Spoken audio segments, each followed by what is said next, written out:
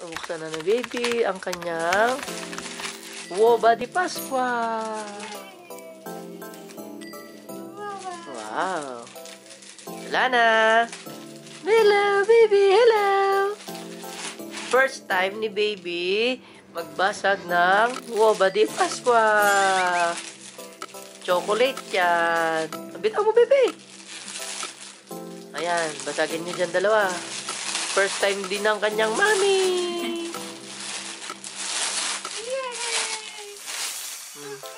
Huwag sa ulo, baka mabasag ang ulo niya. Kunwari na lang paluin mo. Tahawak mo yung kamay niya. Hindi kaya. Yay! Yay! Basag na ni baby! Ano sorpresa? Ang laki ng sorpresa.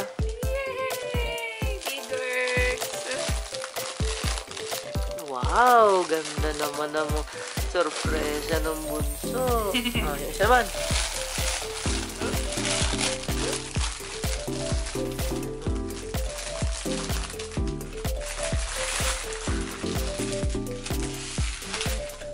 Baka ma-ano mo yung kamay ni baby.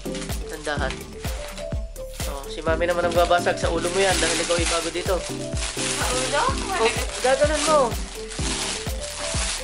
Fondente pala yan. Sa ulo mo. Yung gitna, alam mo yung pinagigitnaan? Oo, oh, yan ay palo mo sa noo. Sa noo. Yay! Yay! Yeah! Ang lakas! Durog! Ang galing ng mami mo! Anong sorpresa? Ayaw, bubuksan mo yan. Mapait yung ano, yung chocolate. Yan yung gusto mong chocolate. Ano? Ang laki ah. ano to? Ano yan?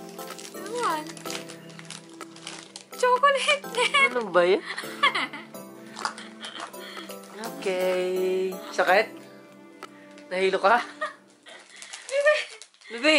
Nahilo mami mo? Bebe! mm.